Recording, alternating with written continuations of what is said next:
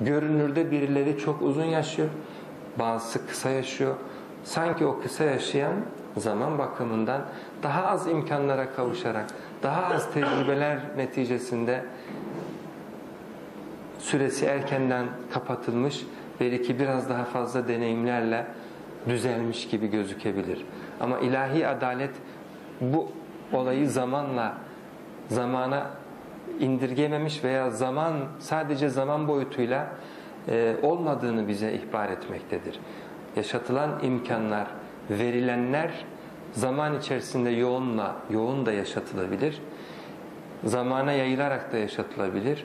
Kişinin neyi nasıl yaşadığı olayı dahi bizim açımızdan bir ölçüye vurabileceğimiz, bir hesapla üstesinden gelebileceğimiz bir konu değildir. Allah Azze ve Celle imkanları eşit bir fırsatlık, eşit bir süreçte, eşit fırsatlarla yaşatıyorum diyor ise bu onun ilmi kapsamında öyledir ve biz buna böylece iman etmek durumundayız. Neticede bunu karşımıza çıkardığında kısa dediğimiz zamanı yaşayan kimseyle uzun dediğimiz zamanı yaşayan kimse aynı fırsatları elde etmişler diye gördüğümüzde hmm demek bize fayda vermeyecektir eğer bugünden itiraz etmiş isek.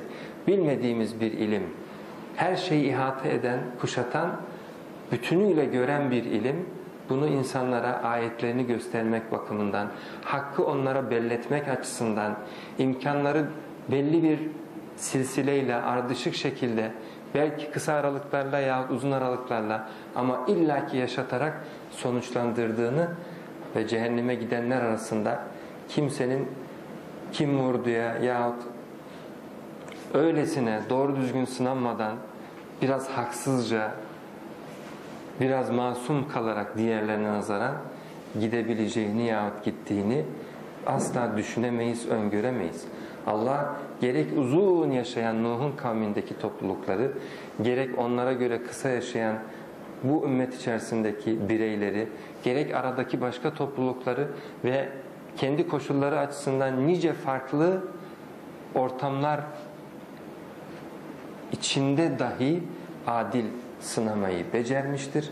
Bu Allah için gayet kolaydır. Dolayısıyla Allah'ın bu ilmi illaki adaleti her bir birey ve her bir toplum içerisinde açısından icra etmek isteyen ve bundan ödün vermeyen bu ilmi karşı taraftan gelen hadi hadi çabuk olsana haklıysan bugünden gönder şeklindeki kışkırtmalara cevap vermemektedir. Bundan etkilenmemektedir. Resul onlara ben size bir şey diyemem. İlim Allah'ın katındadır. Ve o ilmiyle kendisi süreci işletmektedir. Kul innemel ilmu indallah. O ilim ne gün sizin imha edilmenizi gerektirirse o gün ne bir saat ötelenir ne bir saat öne çekilirsiniz. Ama o ilim illaki kendi süresini dayatır. Çünkü adaleti tatbik etmek istiyor. Kul innemel ilmu indallah. De ki ilim Allah'ın katındadır. Benim yanımda olan bir şey yok. Ben neyim arada? Ve innema ana nezirun mubin. Ben sadece apaçık bir uyarıcıyım. İfadeleri açıklıkla ulaştıran, insanlara en net şekilde ilahi uyarıyı ulaştıran bir kimseyim. Uyarıcı olmaktan öte bir rolüm yok. Size azap edecek, azabı size çabucak getirecek, ilahi azabın harekete geçmesi için sürece müdahale edecek böyle şeylerim yok benim. Sizin gibi bir beşerim ve sadece sizi uyarmaktayım. Bu ilme de sahip değilim.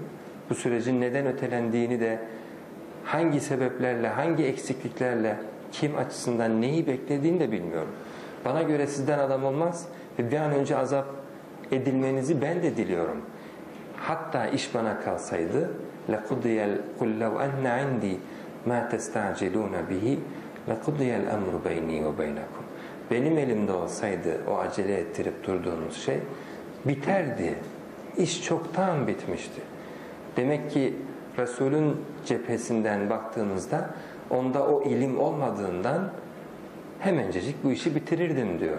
Sizin bu taşkınlığınızı görünce ben tahammül edemezdim. Ama Allah Azze ve Celle zalimlere o mahşeri kalabalıkta herhangi bir ödün, herhangi bir, herhangi bir mazeret şansı, herhangi bir mazeret fırsatı bırakmamak adına adaletin tam manasıyla tecelli etmesi için ilmi bu adaleti hedefleyerek süreci oraya doğru götürüyor. O yüzden Allah'ı sabreden görürsün. O yüzden Allah'ı bu kışkırtmalara karşı tepkisiz görürsün. Tersine rahmetiyle elçisini gönderen, kullarını çağırmaya devam eden, musibetlerle bile onları kendisine belki dönerler yahut dönsünler diye çağıran görürsün. Buradaki tecelli eden şey ilahi ilimdir. O yüzden şair Mehmet Akif Ersoy'un acele ettirmesi de bir karşılık bulmamış. İla ey adli ilahi ağzın kurusun haşa yok musun nedir bu olup bitenler ortalığa bak zalimler bütün taşkınlıklarıyla güçlerini toplayarak hatta geliştirerek üzerimize gelmişler yaptıkları zulmün haddi var hesabı yok bu sınır tanımaz bu gözleri dönmüş olanlar bunlara karşı Cenab-ı Hakk'ın Cenab-ı Hakk'a karşı dua talep ederken veya bu beklentiyle yazdığı şiirinin yanılmıyorsam üstüne de şöyle bir ayeti yerleştirmişti. وَلَا تَحْسَبَنَّ اللّٰهَ غَافِلًا عَمَّا يَعْمَلُ الظَّالِمُونَ Sen Allah'ı zalimlerin yaptığından gafil sanma. Çünkü acele ettirip duranlar sadece kafirler değil. Kafirlerin azgınlıklarını gördükçe Resuller de acele ettirmişler. Resuller acele ettirirken müminler sessiz sedasız durur mu? Onlar da acele ettirmişler. Hatta içlerinde Resulü gelip sıkıştıran Ya Resulallah şu kafirler aleyhinde bir an önce ne olur çabucak diyen Mekke'de nice insan vardır.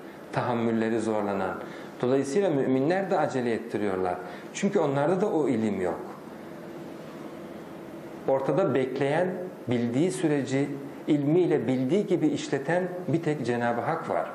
Ve o da adaleti hedefliyor. Diğerleri hep acele ettiren durumdalar.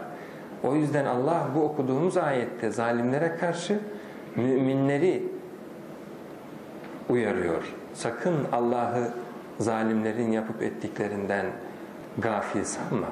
وَلَا تَحْسَبَنَّ اللّٰهَ غَافِلًا عَمَّا يَعْمَلُ الظَّالِمُونَ